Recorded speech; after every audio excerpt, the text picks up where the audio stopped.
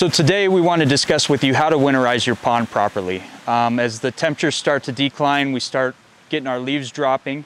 We want to make sure that our pond system is good to go for the winter time.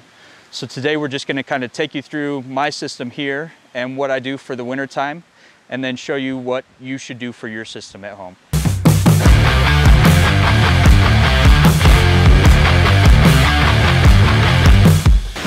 Right, so one of the worst things you can have is dead decaying plant matter, dead decaying leaves in your pond. So you wanna make sure and continually skim and net out any of the leaves that fall into the pond.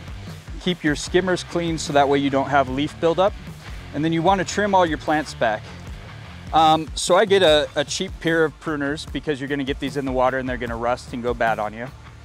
And what you wanna do on the lilies is you just wanna follow that stem and you actually really don't need pruners on these, more for the, the heavier plants. But I just follow that stem down. We get about an inch above the rhizome. And then I just use my thumbnail and just clip that leaf off. And then you want to pull all those so they don't decay over the winter in the pond. And then on any of your bog plants, I like to cut them about four inches above the root system. So any of your lizard's tail, we've got arrowhead out here, all your irises, this is swamp hibiscus. All of this can be trimmed down the same way. So you want to come about four inches above the root system and you just want to clip that off. You're just going to clip all those down, pull them out again so that way they don't become decaying matter in the pond and cause issues for your fish during the winter time.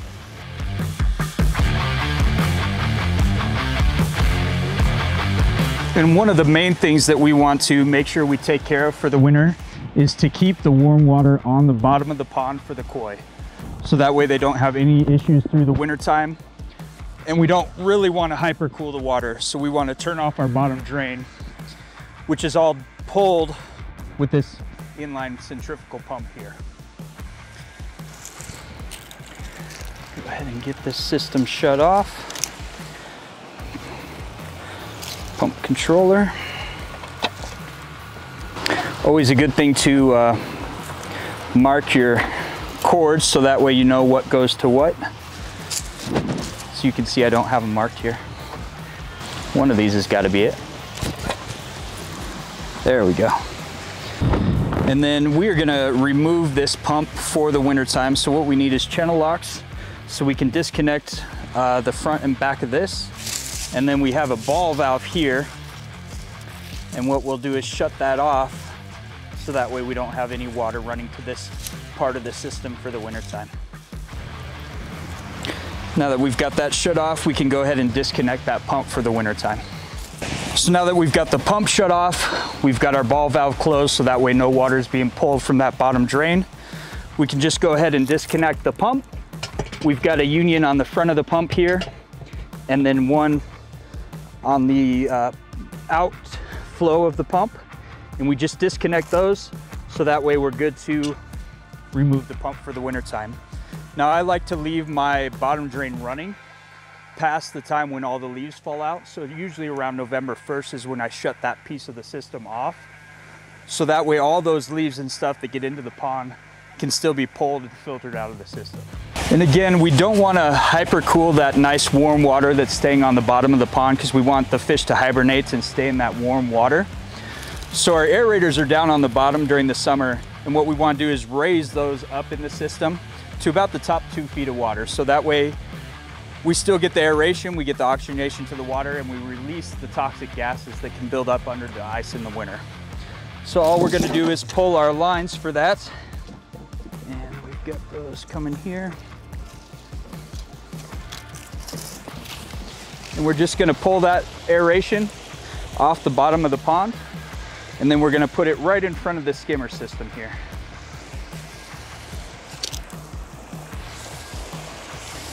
So just gonna pull that up, place it right on the plant shelf here. So again, we're just moving that cooler water that's already at the surface of the pond, keeping that hole in the ice, and then that also allows that water movement to continue into that skimmer system during the winter time. We want to go ahead and uh, clean out and clear out the ProfiClear for the winter. So we're going to remove the lid And then what I like to do is open a few of these chambers here so that way we can clean.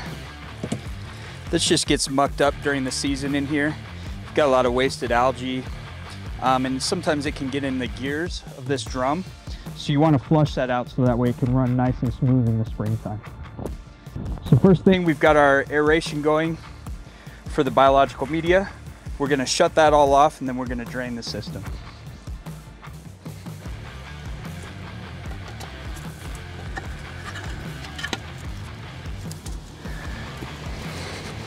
So we've got the aeration turned off. We've opened up our drain um, and we're gonna remove a couple of these panels inside so we can clean the gears. So we're just gonna get in here and clean this all out.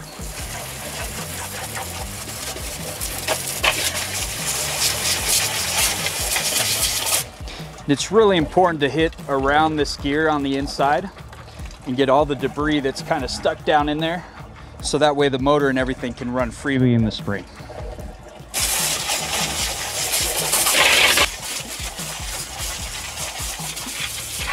And then the next thing we want to do if you've got a UV on the system is we want to remove that for the wintertime. Um, with the quartz glass sleeves that's inside all UV systems, it's really susceptible to freeze and breakage in the winter. So we want to remove that entire system, get it inside somewhere where it's not going to freeze and keep that system good for the, for the following season. So we've got two connection pieces for it on the inside here. So we've got a union here and then one on the other side. And we want to completely disconnect those so that way we can pull that UV inside for the winter.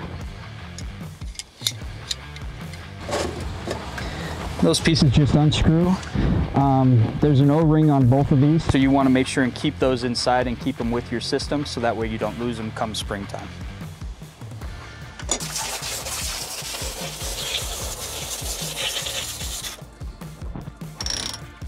So on this system, we run the Ultima 2 filters year round. But if you're gonna turn off your Ultima 2 filter, what you wanna do is first unplug your pump and then you wanna rotate this handle to the winter setting. And what that'll do is drain your head and allow this to not freeze in the winter. So if you don't drain the head out and you get this freeze in the winter, you can crack some of the plastic and then you'll have a leak come springtime. So you wanna set that to winter and just remember you've got this set to winter because in the springtime when you turn the system back on, you wanna make sure to flip this back to filter and then plug your pump back in. And then you'll be good to go.